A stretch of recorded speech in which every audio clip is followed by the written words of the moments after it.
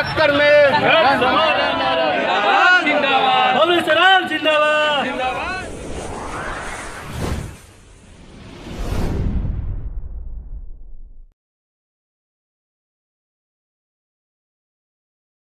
नामांकन के आखिरी दिन जन सैलाब के साथ रत्नेश सर्राफ बबलू ने किया नामांकन।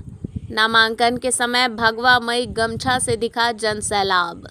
न्यूज़ नाइन टाइम्स, नरकटियागंज से रंजीत गुप्ता की रिपोर्ट।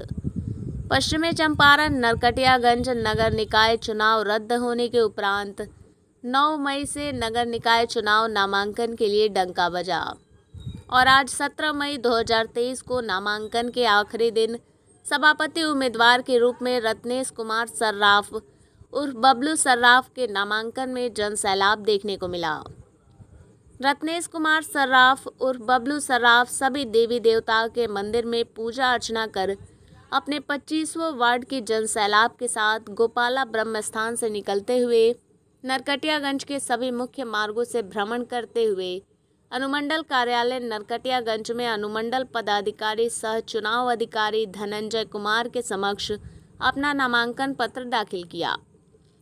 नरकटियागंज नगर परिषद की रूपरेखा बदलने के लिए 25 वार्ड की जनता से आशीर्वाद मांगा और वादा किया कि मेरे जीतने के बाद इस शहर का कायाकल्प करूँगा और पूरी ऊर्जा के साथ ज़िंदगी इतना हुजूम दिखने का क्या कारण है?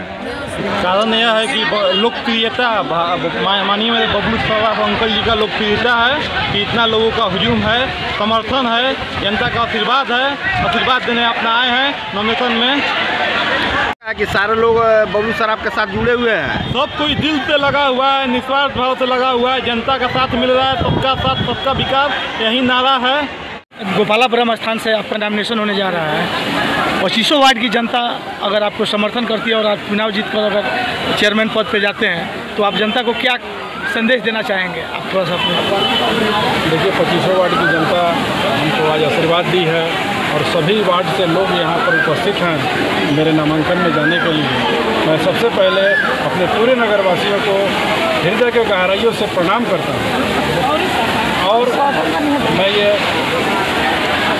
यहाँ शपथ लेता हूँ कि मैं अपनी पूरी, पूरा जीवन और पूरा, पूरी ऊर्जा जनता के हित में और जनता के भलाई में लगाऊँगा। धन्यवाद।